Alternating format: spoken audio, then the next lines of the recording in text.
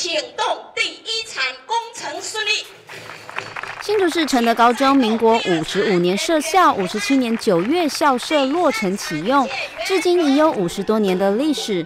在经过耐震系数评估之后，将耐震系数较低的爱德、仁德、孝德楼三栋建物进行先拆后建的方式，打造全新多功能大楼，营造安全兼具美学的校园环境。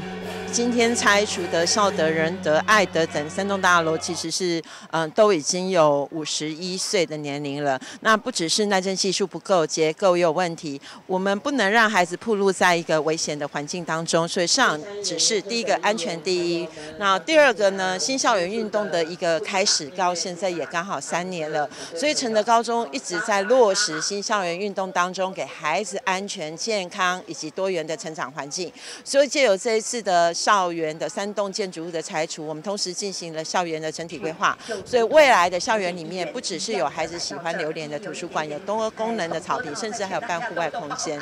承德高中是新竹市完全中学中规模最大的新校园运动工程，将投入二点四亿元进行校园整体规划，并以学生学习需求以及社区共好的理念出发。